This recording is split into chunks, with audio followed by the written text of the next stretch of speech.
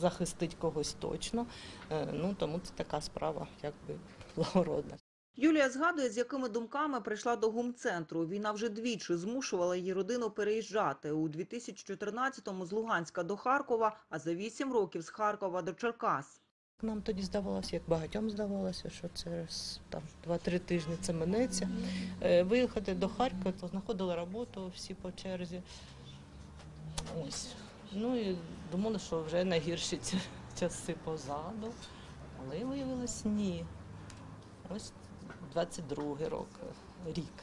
Поряд з Юлею вплітає нитки у майбутню кікімору Діана. Вона до Черкас приїхала із Соледару. Жінка каже, волонтерство це ще й можливість знайти нових друзів. Дівчата дуже приємні, доброзичливі і пропонують будь-яку допомогу і мені особисто, і родині. Бо ви ж розумієте, що ми залишились зараз, ну як то кажуть, без нічого.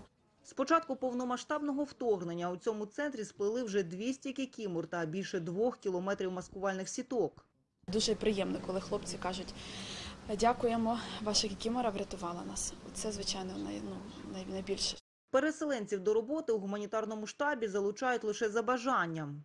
Зараз ми вже констатуємо про те, що е, транзитний потік він е, набагато зменшився.